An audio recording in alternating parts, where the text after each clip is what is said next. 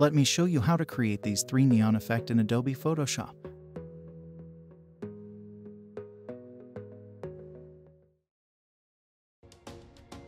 Right-click on your text and choose Convert to Smart Object.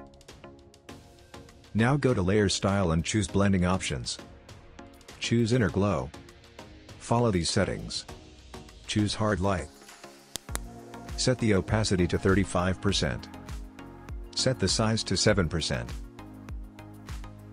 Change the color to 7200FF. Click on the contour and follow these settings. Set the input to 48% and the output to 62%. Now choose Outer Glow. Change the blending mode to Linear Dodge Add. Set the opacity to 80%. Change the color to 9600FF. Change the size to 35%. Click here. Follow these settings.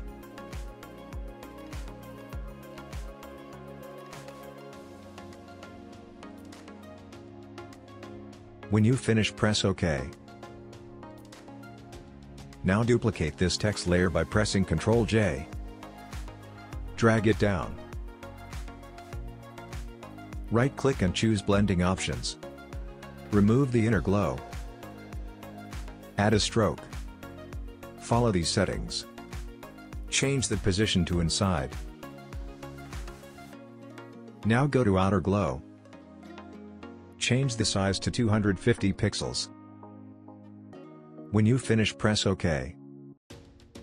Let's delete this inner glow. Right-click and choose Blending Options. Add a drop shadow. Follow these settings.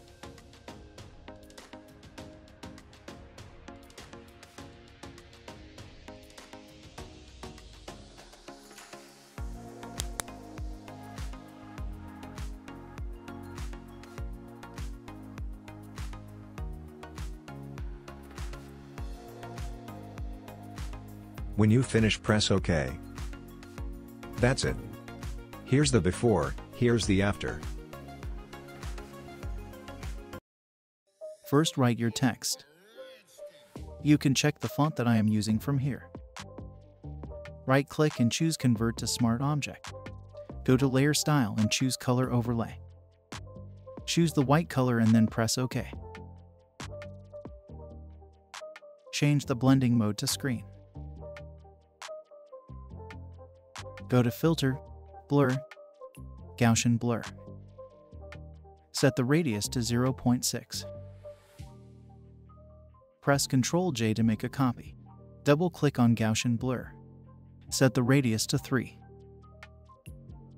Press Ctrl J to make a copy. Double-click on Gaussian Blur. Set the radius to 15. Press Ctrl J to make a copy.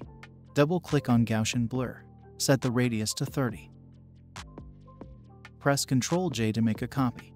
Double-click on Gaussian Blur. Set the radius to 70. Press Ctrl J to make a copy.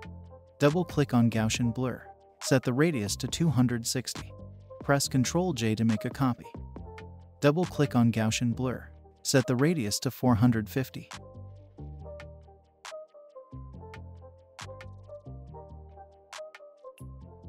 Hold Shift and select all text layers. Press Ctrl G to group them. Rename the group. Change the blending mode to screen.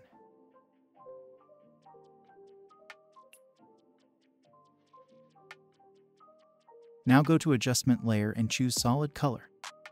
Choose the black color and then press OK. Drag the layer to the back of this group. Go to Adjustment Layer and choose Gradient Map. Follow these settings. I have already saved this gradient. You can create it by following these color codes.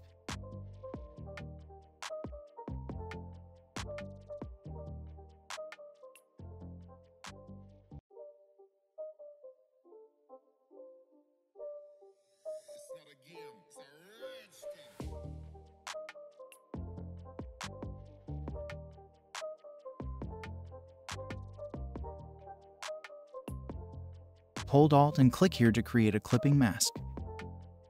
That's it. Hope you liked it. Choose the brush tool. Set the brush size to around 40 pixels. Set the hardness to 0%. Set the foreground color to white. Now choose the curvature pen tool. Create a new layer. Make sure the pen tool is set to path. Start doing the curve around the person.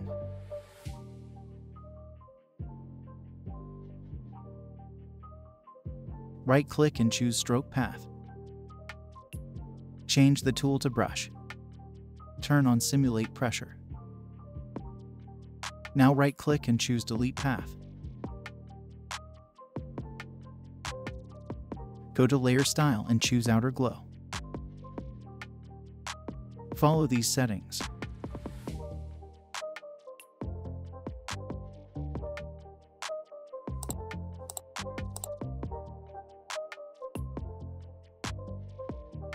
Follow these settings.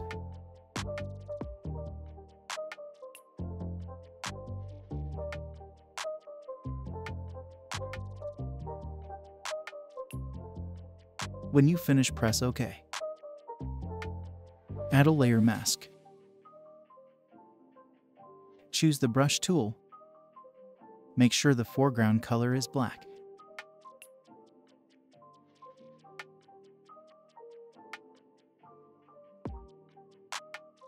That's it. Hope you liked it.